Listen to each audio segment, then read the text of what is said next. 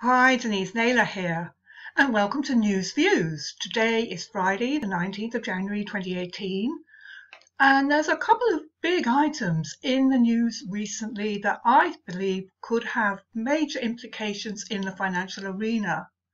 First one is the liquidation of Carillion plc, public limited company. Now, those of us old enough to remember, this company was known as Tarmac and that gives you a clue. Yes, it's a massive construction company. Um, in its latest annual report, which was to 31st December 2016, the company turned over 5,112 million pounds. That's sales turnover.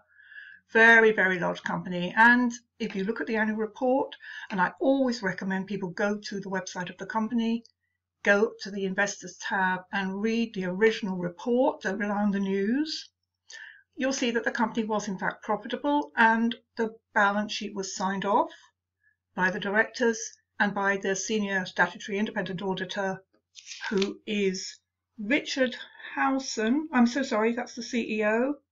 Peter Meehan of KPMG um, Limited Liability Partnership, that was the senior statutory auditor who signed off on the 1st of March 2017 on their December 2016 results. And remember that as part of the sign off process, at the very last moment, the auditor and the directors have to have a meeting and they have to agree that they have no information or knowledge that could impact the company going forward, going concern.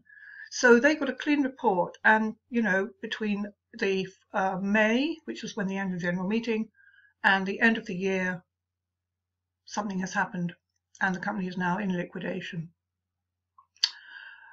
It's difficult. It's difficult business running a large company. I'm not trying to say it's straightforward. There's a fair bit of chat on the Institute of Directors website at the moment. Um, full disclosure, I'm a member of Institute of Directors um, about, you know, the position of the directors. Remember that every director, executive or non-executive, is legally responsible for the company. I think we are probably going to see some changes in the law that will clarify directors' positions. But in the immediate moment, if you look at the website of the company, Carillion PLC, you'll see a statement that tells the official receiver has been appointed liquidator of Carillion plc and other companies in the group. Special managers have been appointed by the High Court to help manage the business to act as agents of the company. So the legal system in this country, in the UK, very strong, very quick to act when needed, and has indeed acted. So obviously it's bad news for employees and suppliers to the company, but at least action has been taken. There are people now managing the company. The company will continue to trade, and uh, we'll have to see what happens. But as I say, I wouldn't be at all surprised if we don't see changes in company law. I think really it's about time that we did. Companies now are so large, they're so interconnected in our society that I believe shareholders, suppliers, customers, creditors deserve much more protection than the law currently gives. Secondly, this week we had a very interesting talk by Silvana Tenreyro, who is a member of the Bank of England Monetary Policy Committee, and she spoke at Queen Mary University of London on the on the 15th of January, and she was talking about what's known as the productivity puzzle, uh, which is we essentially it means we all feel we're working harder and harder, but the official figures show that actually our productivity is not growing in the UK as fast as it is recorded to be growing in other countries. And that's what the point I want to make here recorded. You see, I think the world is changing. Lots of things are happening now that the statistics don't measure because statistics are still built around an old fashioned model. They look at the corporate sector, they look at manufacturing, finance. Of course, all these things continue. But here's one example. This week, I had an insurance issue at one of my properties.